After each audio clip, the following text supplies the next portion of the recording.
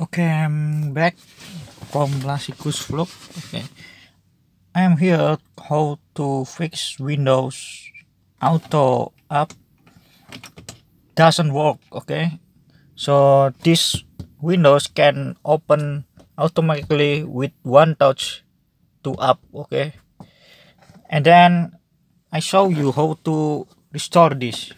Okay, first step is press the on key okay yes.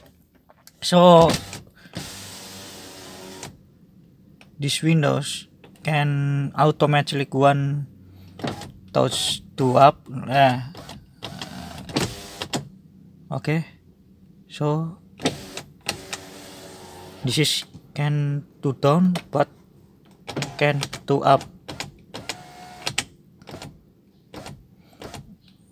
how to fix this? Okay I want to show you. Okay. First step is two step is press the windows on half okay. Then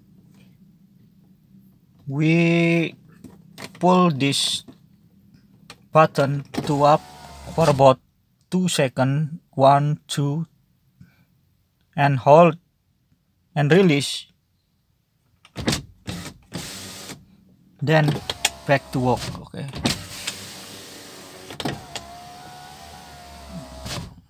thank you